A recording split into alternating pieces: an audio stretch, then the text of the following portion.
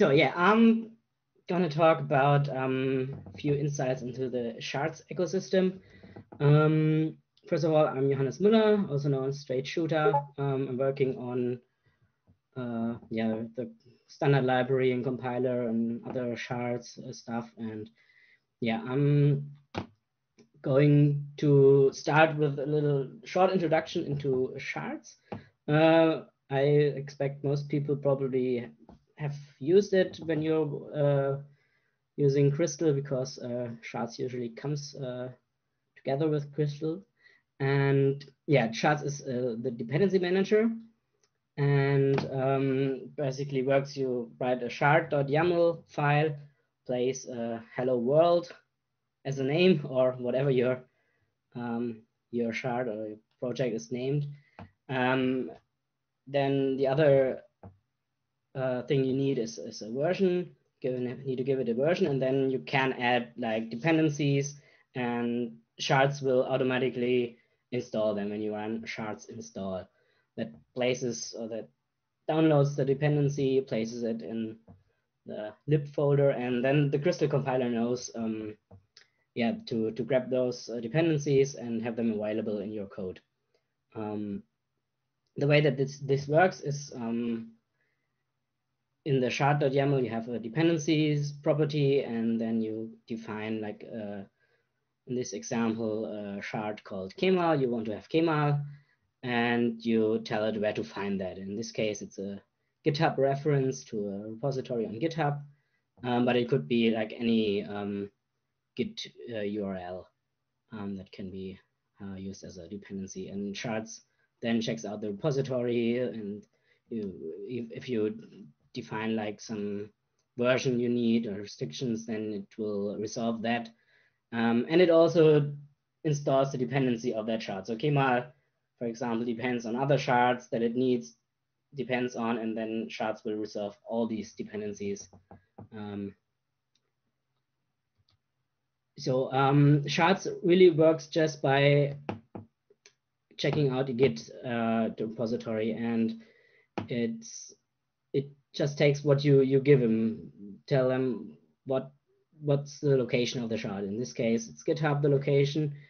Um, so it, it completely works decentralized. You have don't have a, a naming service lookup thingy that many other dependency managers have. have. Uh, like when you have uh, node pre, uh, node npm uh, dependencies, for example, then you would just write the Kemal, the name, or like in, in bundler for Ruby, you would just write the name of the dependency, and there's a registry which has all the locations, and the dependency manager just um, looks that up and uh, knows, okay, Kemal is this thing, and then I can get it there. Uh, Shards doesn't have that because um, it works without a registry. It has benefits and it has drawbacks. Um, one of the drawbacks is that there's no inherent mechanism to, to look up these things. So you always need to name the dependency and you tell shards where to find it. Um, but that's the hard thing. Like, um, how do you know where to find a dependency when there's thousands maybe of, of packages available? Um, then you need a way to, to discover them to know which uh, you might want to use. And then um, there have been some solutions to that.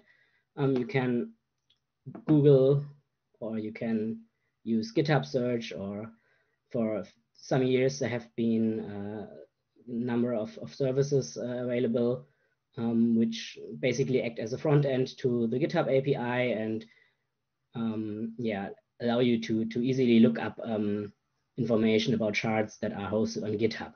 So that's that's nice, but um, it also only covers GitHub, or maybe if you do the same thing for, for packages hosted on other providers, that could also work. But it's it's all, always limited to shards that are hosted on like a, a major um, Git provider, and you, you can't have shards that um, like you have hosted on your own server, for example. Um, so a while ago, I started the project The Shardbox, um, which basically is a curated catalog of shards. Um, and it also supports auto discovery of shards. So it can not only show shards that are in the catalog, but also other shards that um, are out there. Um, basically, um, this catalog has uh, three major functions. First of all, it provides a taxonomy. Um, so in this example code here, this is literally what uh, could be standing in the, the Shardbox catalog, which is organized in YAML files. Um, it would define a, a, category name that is in this case web frameworks and a number of shards. Um, again, we have the example of Kemal, which is a web framework.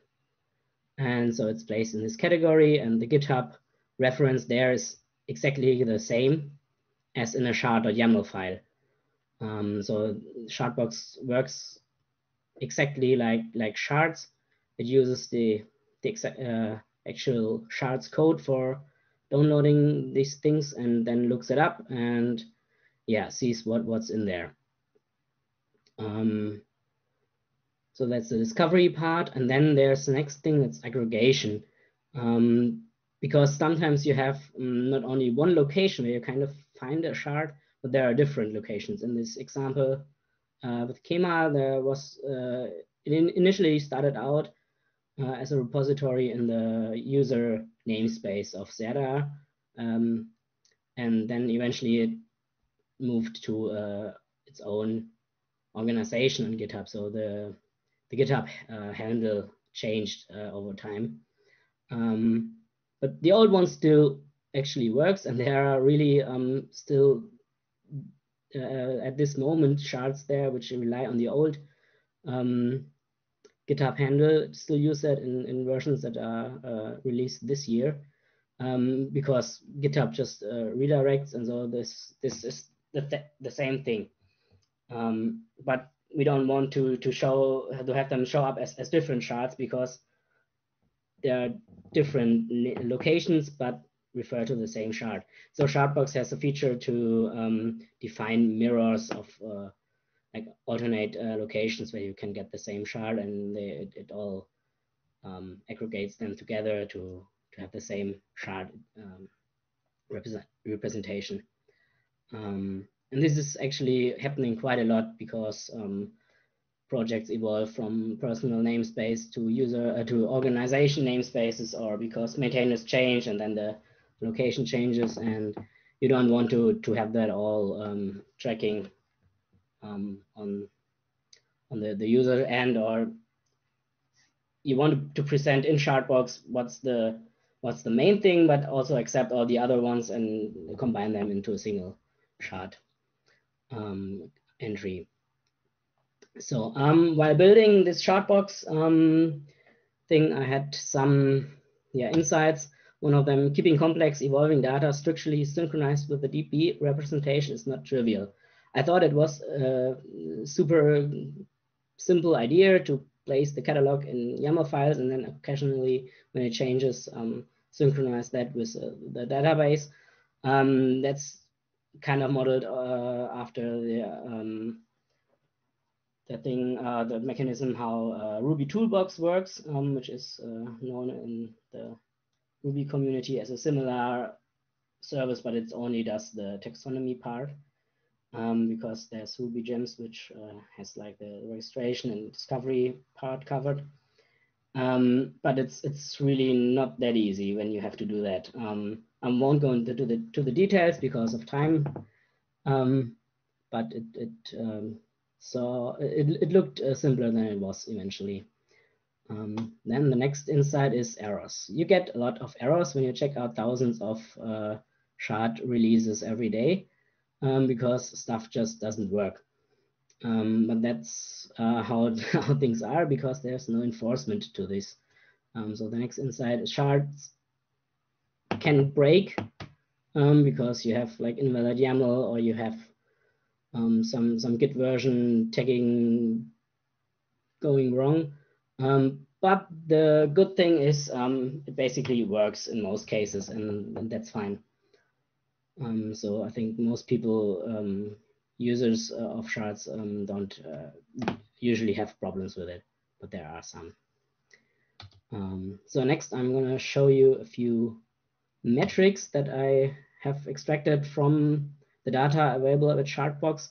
This is um, the number of new releases that have been uh, published uh, per month um, for the last like about five years. And what's interesting about this that the average has ne nearly stayed the same over the last five years, even though Crystal has evolved and we now have lots of lot more, lots of more shards than five years ago.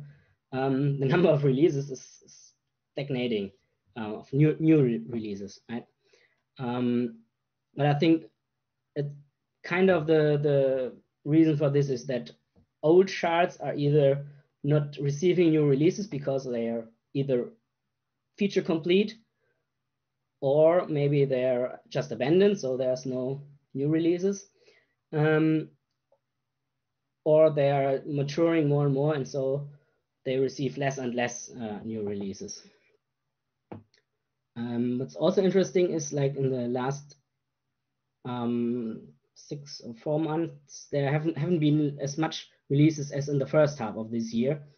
Um, but when you look at the the high points, that was in April and June. Um, that's all the, also the time when the last um, releases of Crystal were, were made. So probably it shows that um, shards update when there's a new Crystal release, which is probably a good thing. Um, yeah. So um, that's gonna, now I'm gonna round up the talk. Um, have a few ideas for the future of Shardbox, how to develop it further. Um, just popping that in here. I want to uh, provide a JSON API for external access and the search API should be improved. Um, the categorization through the YAML catalog repository is not ideal. So um, yeah, I'm gonna have uh, gonna need new ways to better do that for people to, to categorize uh, shards. Um, API documentation would be great. I'm not sure if this should be part of Shardbox or like an attached project, but I would really like to have a link on every shard page to go to the API documentation, even if the, the author doesn't provide some. Um, so, and then it would be really nice to get automatic notification when your dependency updates. So you could like uh, have uh, subscribe to a feed or something that would be pretty swell, I think. Um, health analysis, another thing like the, the data that we have could uh, help to tell how healthy is a shard. Is it regularly updated or is it, is it maintained as a does it have lots of specs and run smoothly? And yeah, that can code metrics can help for that. I'm happy to have people help out uh, if you want to improve this stuff with me. And yeah, I'm gonna be working on it in the next months.